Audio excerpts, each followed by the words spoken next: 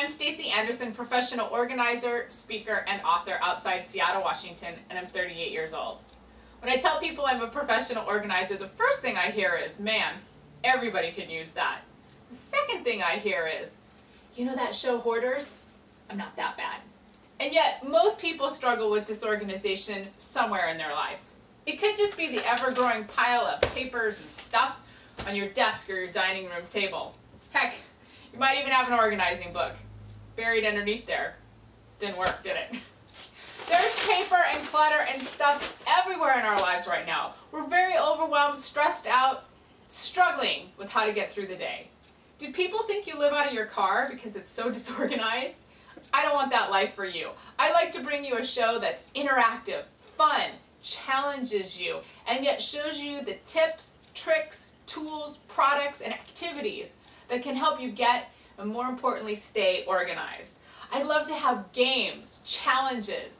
I'd love to even come to your home and give you 60 seconds to find, I don't know, let's say a hammer. Can you do it? If you can, I'll give you 50 bucks. Eh, can you find your tax returns?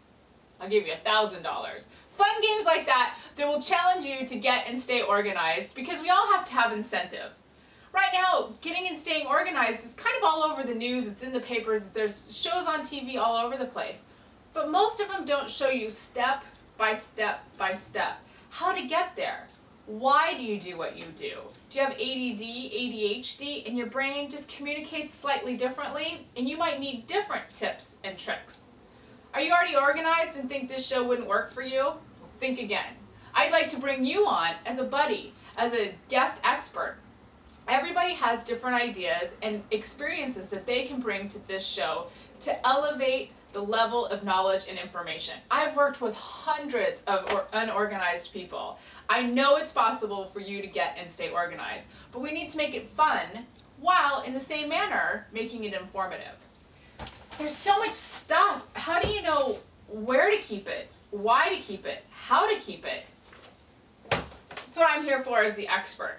Again, I like to show you tips and tricks and tools and give you the knowledge, walk you through the process. Most of you work on an organizing project at home and you work and you work and you work and it's either a mess again at the end of the week or you get down to that just last little bit of stuff and you don't really know what to do with it. Yeah, so you shut the door and you run away. I don't want that to happen. I would like to show you exactly what to do with that last little bit of stuff. I'd like to show you the coolest new products out there. But I'd also like to show you things not to do because many people, you go out and you buy something, you think it's going to organize you, and that doesn't work either. So I'd like to show you tips, ideas, tools, products, information, fun games, and seminars to help you get and stay more organized.